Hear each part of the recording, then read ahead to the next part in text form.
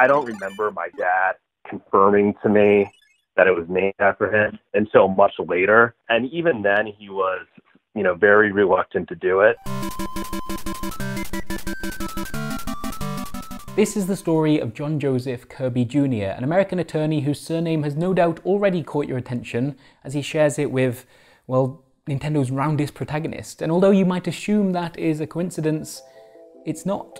John sadly passed away last October, and at his funeral, a video was played in which Howard Lincoln, the former chairman at Nintendo of America, spoke of his great admiration for Mr. Kirby, who he considered a close friend. This was accompanied by a written message from Shigeru Miyamoto which described how they'd met back in the early 80s and how John had been one of the reasons why Nintendo would go on to call Kirby, Kirby.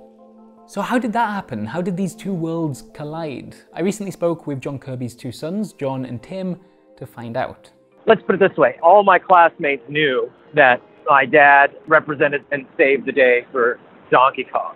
In 1982, Nintendo was not quite the household name it is today, not yet at least. The company was right on the brink of releasing the Famicom in Japan and later the NES in North America and Europe, but to fully understand this story, you need to know that that hasn't happened yet.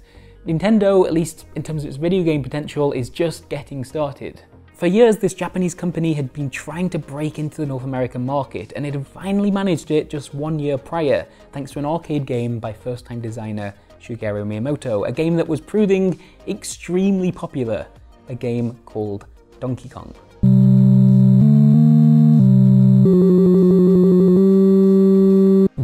So we're at this crucial moment in Nintendo's history in which it's just starting to establish itself as a contender in an international entertainment industry when it's hit with a sucker punch. On the 29th of June 1982, Nintendo was sued by Universal Studios for trademark infringement, the claim being that Donkey Kong was actually a rip-off of the studio's own property, King Kong. John Kirby, well, he was hired as the lawyer to represent them in this battle at the time, you know, Nintendo really was this very small, sort of unknown company. They obviously had the resources, you know, to pay a well-regarded law firm, but it was definitely a David and Goliath story. So what exactly was he up against here? Well, if you boil it all down, there are really two key arguments being made by Universal. The first is that a punter like you or I could too easily confuse the name Donkey Kong with the name King Kong, and that Nintendo was unfairly profiting from this association. I mean, let me tell you by the way, as someone who's needed to write a video script that includes a good helping of both names, they can be surprisingly easy to mix up. And actually, when asked about the origin of the name, Miyamoto has said in the past, I've always thought the gorillas were Kongs, that's why I wanted to name it something Kong. And why does he think that all gorillas are Kongs? Why do most of us make that connection? Well, the origin story is out there. According to correspondence between Merian C. Cooper, the original creator of King Kong, and Douglas Burden, a fellow filmmaker and adventurer friend of his, Cooper had, and I quote, especially liked the strength of words beginning with K, and so it was during a conversation between the two of them that he'd settled on the name Kong for his monstrous gorilla. And so yes, the original source for the name Kong is quite indisputable, although it's worth noting that it's not Merian C. Cooper who's trying to sue Nintendo here.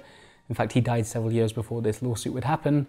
It's Universal Studios. Cooper himself had faced his own legal battles during his lifetime with movie studios over who owned the rights to King Kong. In another letter to his friend, he'd write, They'd make me sorry I ever invented the beast if I weren't so fond of him. His son Richard Cooper would eventually sell the rights to King Kong to Universal Studios in 1976. Alright, so that's the first problem for Nintendo, that the name Kong might be an issue. The other argument that Universal were making is that the plot of Donkey Kong, in which a giant ape kidnaps a woman, was also infringing on the storyline of King Kong. But is that true? There are certainly some obvious similarities here, the two Kongs, the damsels in distress, the would-be heroes trying to save them, but Mario, or Jumpman as he was originally known, was a mustachioed carpenter hurdling his way through a construction site to save his girl, while in the original movie we've got the rugged Jack Driscoll, first mate of the venture. And the giant ape's demise is much grander than the one portrayed in Nintendo's arcade games he's brought down by fighter pilots atop the Empire State Building.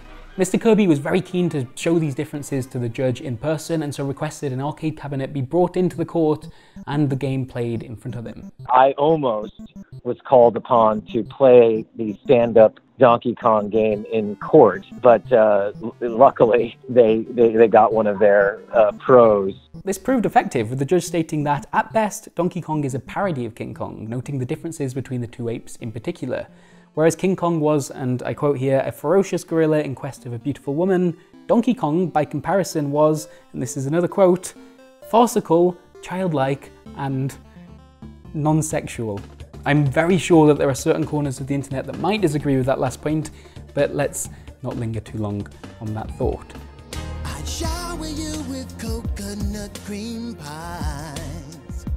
You see, Mr. Kirby wasn't finished. Not only did he argue that the two storylines were in fact different, he also had his own curveball to throw. Universal Studios, he claimed, didn't even own the rights to the name King Kong or the character in the first place, and better yet, the movie studio itself had proven this in an American court of law just a few years beforehand. I can't remember which uh, official at Nintendo would say this, but they would say, first there is God, then there is Buddha, then there is Mr. Kirby. He directed the court to a legal dispute in 1975, a year before Universal purchased the rights from Cooper's son, in which the studio had argued that a novelization of the King Kong story had now entered into the public domain, which meant it could produce its own movie based on that novel and nothing else, without paying a penny to either the Cooper estate or RKO Pictures, the studio that had produced the original film in 1933. This led to a good deal of back and forth over who exactly owned which parts of the King Kong trademark, and that remains somewhat muddled even to this day. But let me read you something from one of the judges once the Universal vs. Nintendo case reached the Court of Appeals. It'll give you some idea of just how compelling Mr. Kirby's argument must have been. Universal's assertions in court were based not on any good faith belief in their truth, but on the mistaken belief that it could use the courts to turn a profit. Ouch. In the end, Nintendo emerged unscathed from this lawsuit, and Universal Studios were in fact required to pay almost $2 million in legal fees, photocopying expenses, costs incurred creating graphs and charts, and lost revenues. I imagine that's just standard legal language, but can I just say that some of those things sound more expensive than the others? And to thank Mr. Kirby for his work, and they were thankful, Nintendo gifted him a 27 foot sailboat named the Donkey Kong, along with the rights to use that name on any vessel of his choosing in the future, that being a nod to the dispute itself. We, we still have it. It, um, it actually it played a, a big role in my wedding uh, with a big flag. I think it was our wedding hashtag, which was um, a play on Kirby's Dream Land. It was uh, Kirby's Dream Girl.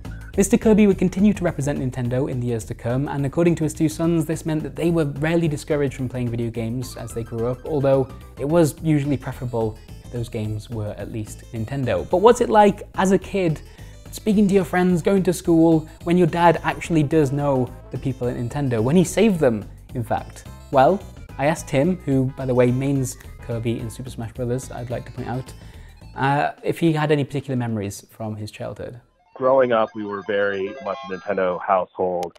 Um, Shigeru Miyamoto actually came over and had dinner at our house um, a few different times.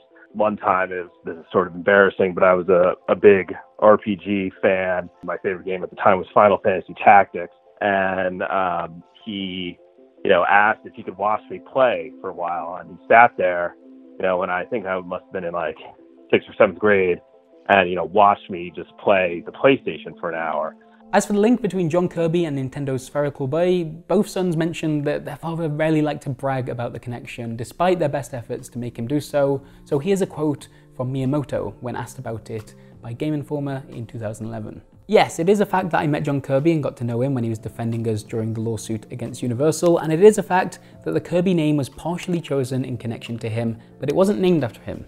Instead, we had a list of names that we were looking at, and Kirby was one of the names on the list. As we were going through the list and narrowing down the selections, we saw that Kirby was there, and we thought John Kirby's name is Kirby, and started thinking that if those two had a connection, that would be kind of funny. And I mean, it is kind of funny, he's not wrong about that. Uh, but before I wrap this video up, I want to just go on one small tangent, if you'll allow me. And that is to say that although this video has focused on John Kirby's work with Nintendo in the uh, early to mid 1980s, it actually does him something of a disservice to only talk about his career through the lens of that one particular case.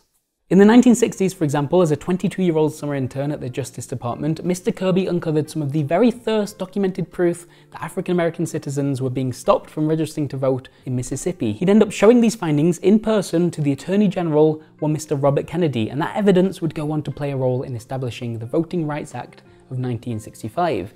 In the summer of 1963, he was involved in school desegregation as one of the chaperones to the very first black student to enroll in a white Alabama public school, the six-year-old Sonny Hereford. And after the Kent State Massacre of 1970, he helped write the report commissioned by the President's Office, which described the shootings as unnecessary, unwarranted, and inexcusable, which in turn infuriated the Nixon presidency. That is to say that his later years may have seen him working for private companies like Nintendo, but early on in his career, Mr. Kirby was a champion of civil rights.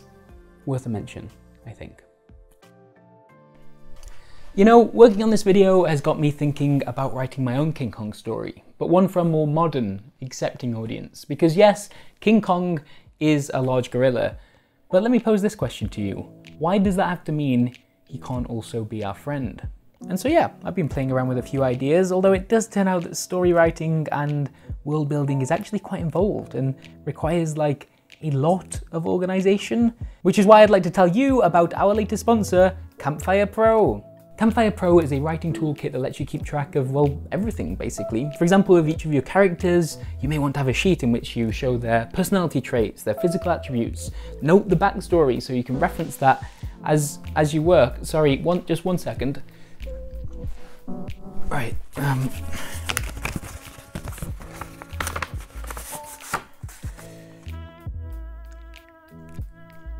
yeah.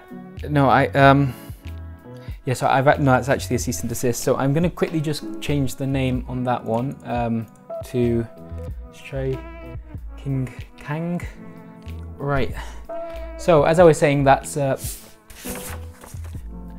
yeah, no, that no, that is another one. Um, I tell you what, I'm just I'm just going to use the the footage that Campfire Pro sent over to me themselves because I'm sure that'll have nothing to do with any kind of existing trademark. As well as managing all of your various characters and how they interact, Campfire lets you hammer together a timeline and then link those characters to the plot points they're actually involved in. The world building pack expands upon this, allowing you to organize things like items, languages, religions, whatever your world consists of. Maybe it has magic, well this is where you'd keep track of all its spells. And if that sounds like something you'd like to try, Campfire Pro is free to use until the end of April. Just use this link, which you can also find in our video description and normally it's a one-time purchase of $49.99. Thank you so much for watching, and as ever, a huge thank you to our patrons for supporting this work directly.